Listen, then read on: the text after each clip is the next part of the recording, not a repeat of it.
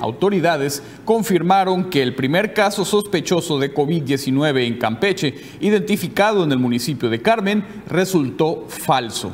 El secretario de Salud, José Luis González Pinzón, a través de una videoconferencia, informó que los resultados de laboratorio realizados a las muestras del paciente identificado como caso sospechoso fueron avaladas por el Instituto Nacional de Investigación y Referencia Epidemiológica, quien certificó que el caso es negativo a COVID-19.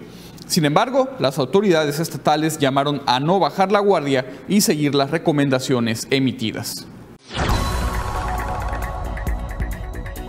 Thank you.